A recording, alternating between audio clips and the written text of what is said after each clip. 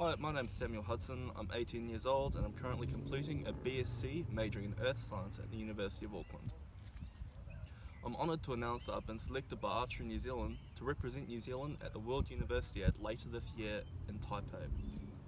This is a large multi-sport event where New Zealand is sending a squad of around 60 other athletes where I personally will be competing in the men's compound division of the archery event.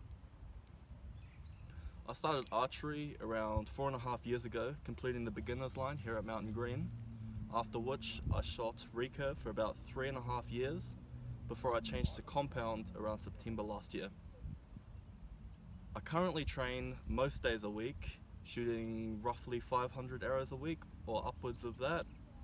I train most days during the week and both days in the weekends.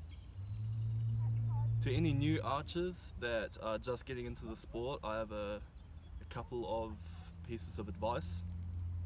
The first of which would be to build a good support, such as getting coaches and having parents who support you. Uh, secondly, I would encourage anyone to talk to more advanced older archers as they're always happy to help. And thirdly, I would invite you to take any opportunities that come your way as you never know what can come out of them and it might end up with you representing New Zealand and wearing the silver fern. At the World University Universiade, I wish to achieve a couple of things.